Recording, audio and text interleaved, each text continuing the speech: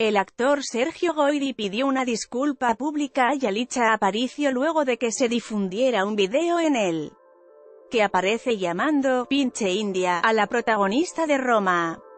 Por medio de redes sociales, Goyri dijo que asume la responsabilidad de su comentario desacertado hacia Yalitza, por el cual se siente muy avergonzado.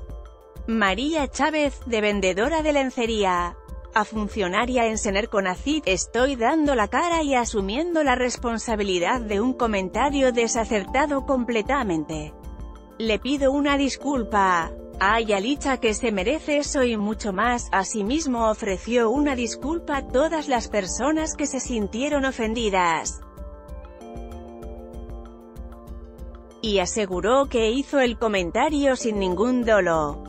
Sostuvo que él estaba comentando otro tipo de cosas, y al calor de la discusión salió. No tengo derecho de ofender a nadie, pido una disculpa directamente a ella, una disculpa muy grande a toda la gente que se sintió ofendida con mi comentario, fue sin ningún dolo, se los puedo jurar, por último, Sergio Goyri dijo que le parece loable todo lo que se ha hecho con la película y que siente muy orgullo de ello, pinche India, este viernes se reveló un video en el que Sergio Goyri, actor de Televisa, menosprecia el trabajo de Yalitza Aparicio llamándola «pinche India» como un infierno, así será la cárcel donde el Chapo pagará su condena a un usuario de Twitter. Fue quien dio a conocer la grabación donde se escucha el momento en el que el actor comienza expresarse de manera grosera y despectiva de la protagonista de Roma.